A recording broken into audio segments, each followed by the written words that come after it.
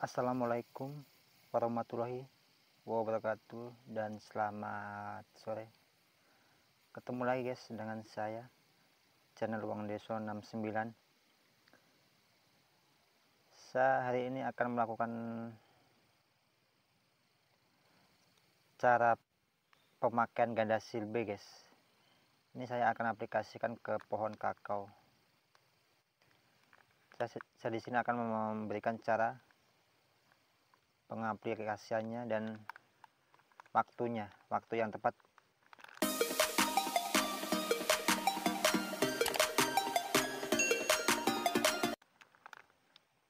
Bagaimana waktu yang tepat? Karena itu kalau penyemprotan tidak sembarang semprot sebenarnya harus ada waktunya. Jadi sini saya akan memberikan cara dan waktu penyemprotannya yang tepat bagaimana. Ini ganda silbe ini cocok diaplikasikan ke se semua jenis pestisida guys.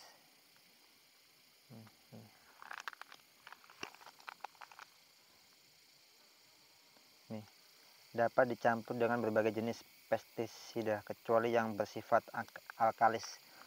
Alkalis itu yang pH nya dia pH itu pH nya terlalu tinggi atau apa lupa saya juga guys intinya dia yang pH-nya terlalu tinggi kayaknya atau apa kemarin lupa saya. Ini saya bacakan manfaat ganda silbe. Itu mempunyai susunan yang khusus diciptakan untuk merangsang pembentukan bunga dan buah. Nah ini ini ini cak ini waktu yang waktunya itu yaitu waktu pembentukan bunga itu waktu pas muncul bunga itu disemprot pakai ini ini bagusnya.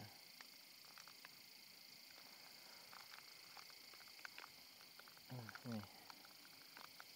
kalau untuk anjurannya guys begini. Segera setelah tanaman menunjukkan tanda-tanda pembentukan kucuk bunga gunakan ganda silbe sebanyak 3 sampai 10 gram. Jadi ini ketika sudah ada muncul bunga kalau saya ini saya aplikasikan ke coklat guys ya. Itu kalau sudah muncul ada muncul kayak muncul bunga begitu langsung dicemprot pakai ini. Yaitu 10 sampai 30 gram itu 10 liter. Jadi kalau untuk tangki 16 liter kita menggunakan 3 sendok saja boleh. Setiap 8 sampai 10 hari. Atau bolehlah kalau anu kalau petani kan biasa kan sibuk jadi jadi kita aplikasikan satu bulan itu dua kali lah boleh ini dapat dicampur berbagai jenis pestisida kecuali yang bersifat alkalis. Nah, ini. Ini lagi.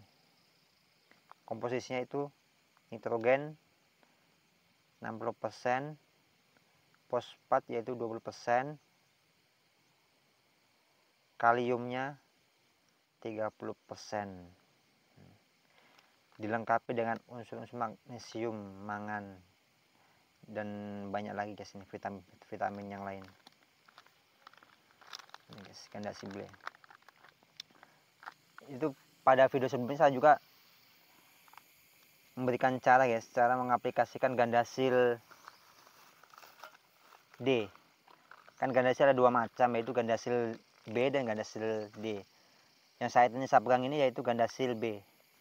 Yang ini lagi hmm, ini gandasil D itu untuk pertumbuhan daun atau kalau anu untuk penyuburan daun lah. Atau nanti kita kalau itu ini bagus kalau yang kakao masih umur lah satu bulan ke atas semuanya masih proses pertumbuhan ini cocok untuk kakonya ini sudah saya praktekkan kemarin di video saya sebelumnya sudah saya upload guys. Cek cek aja di video saya sebelumnya. Ada itu. Hmm. untuk lanjut ke proses petakaran guys. Proses racikannya jangan lupa untuk like dulu guys channel saya supaya tetap berkembang dan saya semangat lagi untuk upload-upload video tentang pertanian guys dan perkebunan. Dan jangan lupa untuk like, komen, dan subscribe di bawah ini guys supaya channel ini tetap, tetap berkembang guys. Lanjut kita untuk cara pengaplikasiannya guys. Lanjut. Hmm. usah pakai lama-lama guys. Langsung hari ini saya akan menyemprotnya itu pakai tangki 16 liter. Jadi kalau tangki 16 liter itu kita pakai nah, sebenarnya boleh 2 sendok tapi saya ini kalau 2 sendok itu sebenarnya cuma 15 liter guys. Makanya kita pakai ini 3 sendok ini bentuknya. Ini kalau hampir sama sih kalau ganda lain. Kalau ganda sil ini saya lihatkan lagi guys. Itu ganda sil B B itu warnanya agak kemerah-merah merah muda guys. Kalau yang ganda sil D ini warnanya hijau. Kan ini sesuai anu lah untuk proses pertumbuhan daun yang ini. Kalau yang ini kan untuk proses pembungaan. Langsung aja kita praktekkan berapa takarannya kalau untuk 16 liter air guys. Ini masalah ini saya menggunakan untuk 16 liter. Jadi nanti tinggal kurang-kurangnya aja. Jadi untuk kalau satu liter itu kurang lebih itu hitungan gram deh guys. Itu kurang lebih 2 atau 3 gram untuk satu liter air. Jadi kalau ini saya menggunakan sendok saya tidak, tidak bawa timbangan maka saya menggunakan sendok. Jadi satu sendok begini. Nah kalau pakai 16 liter air itu yaitu kita pakai tiga sendok. Tuangkan ke dalam air dulu guys ya. Hmm. sendok gitu pakai. Nah ini tiga sendok dua tiga. Nah, boleh ini. Lanjutnya kita aduk.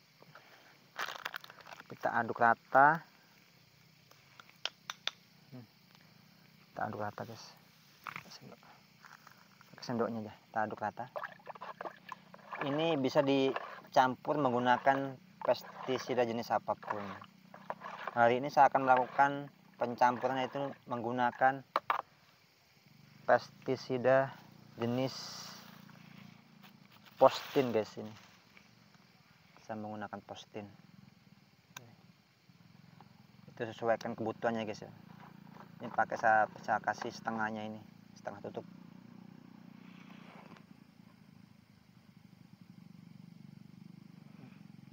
kebanyakan guys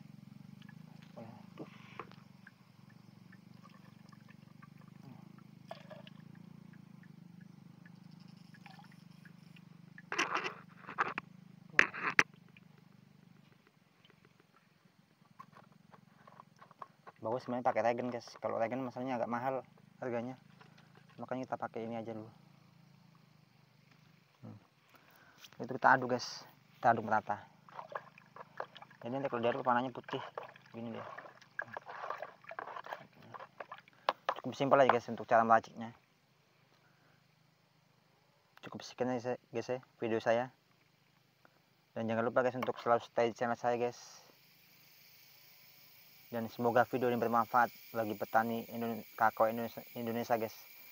Dan petani padi atau petani semua guys semoga bermanfaat. Sampai ketemu di video selanjutnya guys. Mantap